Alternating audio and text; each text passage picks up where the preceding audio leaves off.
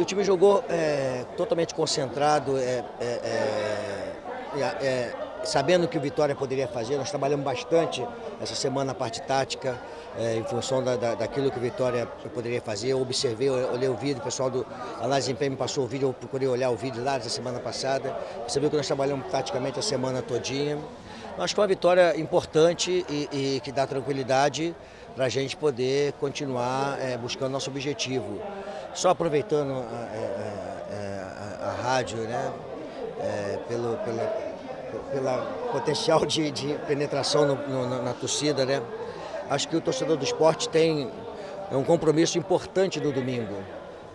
É, eu venho falando isso aí, é, da importância de os dirigentes baixar o ingresso, não sei como é que vai ser, mas o torcedor ser o centroavante da equipe, comparecer junto com a gente lá. Esse campeonato é um campeonato muito igual, então o torcedor faz a diferença. Você vê que a gente sai fora de, de lá do, de, de, de, Recife, a gente sofre na casa do adversário.